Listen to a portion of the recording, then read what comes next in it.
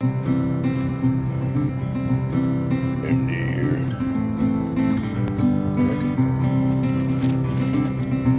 All right, I love donuts, dude. Yeah. Actually, there's nothing like having a great donut for breakfast. Good. Well, I'm it. There's nothing like having a great donut breakfast, you know, you got to have a good breakfast to stay healthy, you know. Especially if you don't get a good breakfast, you know, you might have a cranky day. So you never know.